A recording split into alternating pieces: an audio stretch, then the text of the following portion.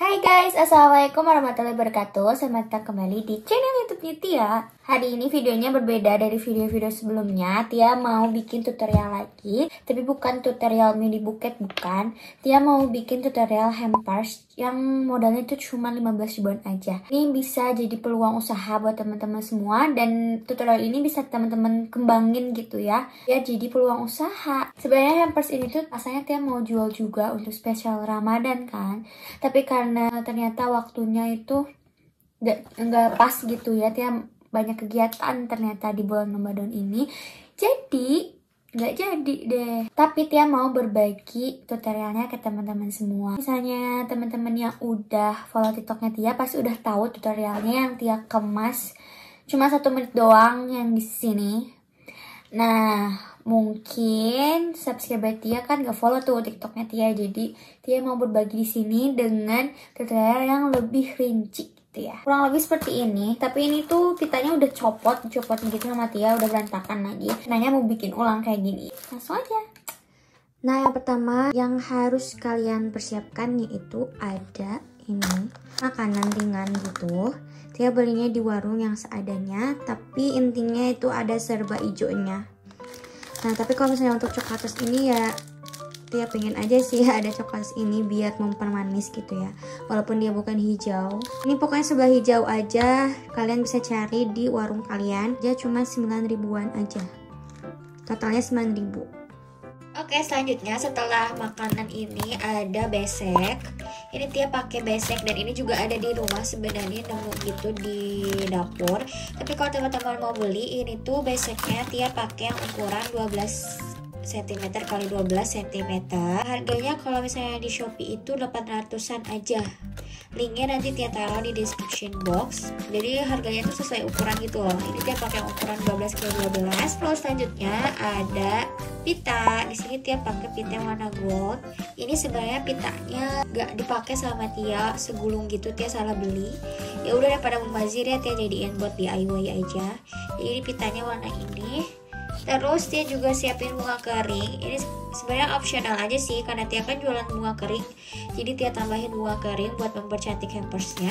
Terus di sini juga ada uh, kartu ucapan gitu. Ini Tia print sendiri jadi mohon maaf ini tintanya lagi jelek gitu ini dia desainnya di Canva bener-bener udah kayak gini kok di Canva-nya tuh udah desain kayak gini. Tapi diingatin lagi ya teman-teman kalau misalnya teman-teman e, bikin ini tuh untuk komersial buat dijual kembali gitu ya kalian harus hati-hati pakai desain yang Canva jangan langsung template yang Canva itu terus kalian langsung jual gitu. Kalian juga harus memodifikasi lagi ya takutnya kena copyright. Font-fontnya juga kan ada lisensinya jadi teman-teman harus hati-hati menggunakan uh, aplikasi Canva kalau misalnya untuk yang jualan ini Tia karena bukan buat dijualin ya jadi Tia langsung aja pakai yang desain Canva kayak gini. Tia langsung print. Udah deh oh ya terus ada karet. Di sini Tia pakai karet gelang dan yang terakhir itu ada ini kain tila ini kain tila per meteran aja. Harganya cuma 2500an 3000an lah. Linknya nanti ada di description box Tia taruh semua di situ Oke okay guys, kita langsung aja ke tutorialnya. Maaf banget kalau misalnya suara Tia uh, agak bindeng. Soalnya lagi pilek. Oke, okay, jadi caranya itu kalian uh, taruh beseknya ini di sini. Terus kalian susun aja si makanannya. Ini disusun aja, bisa. Terus kalian juga bisa pakai di belakang-belakang itu double tip gitu biar nggak bang biar ke mana-mana. Tapi kalau dia sendiri sih waktu kemarin nggak dipakai apa-apa langsung aja disusun kayak gini.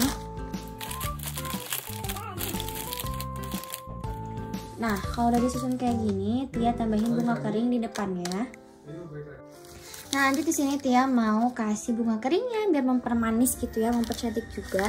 Kalian boleh taruh di atas ini ataupun di sini. Kalau Tia mau taruhnya di depan aja. Yang udah disusun, kalian ambil si besek yang satu lagi buat tutupnya. Tapi ini nggak ditutupin gini ya. Satunya lagi kita taruh di samping kayak gini. Biar si citosnya itu masuk ke dalam gitu. Nah jadi kayak gini setelah ini kalian tinggal tambahin kain tilenya Ini Tia pakai kain tile yang warna broken white kalau nggak salah atau krem gitu ya waktu itu Tia check outnya. Nah caranya itu kalian tinggal gelar aja kain tilenya. Terus beseknya kalian taruh di tengah-tengah dan kalian ambil sisi-sisinya semuanya ketengahin dilipat tapi harus yang rapi gitu ya kayak mengikat rambut kalau Tia sendiri itu ngikatnya ke samping nggak ke tengah-tengah. Nah ke samping kayak gini.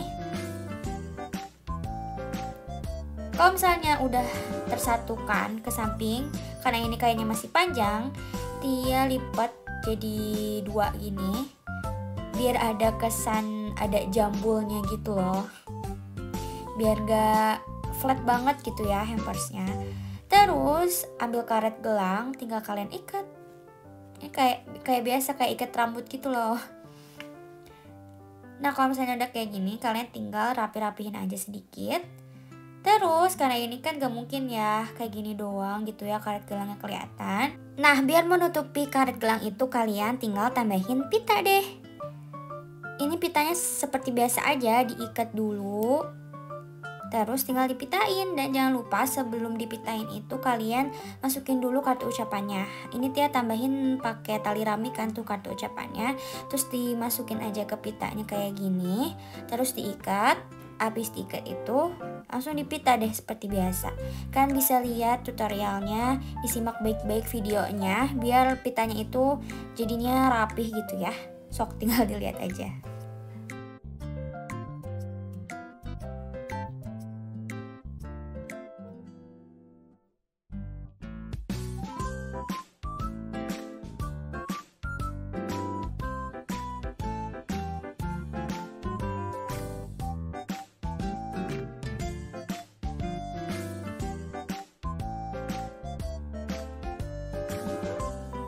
Udah deh guys, ini udah jadi hasilnya kayak gini. Dan ini simple banget, kayaknya 5 menit juga jadi lah ya kalau udah terbiasa buatnya. Selamat mencoba, semoga juga ini bisa jadi ide peluang bisnis teman-teman ya.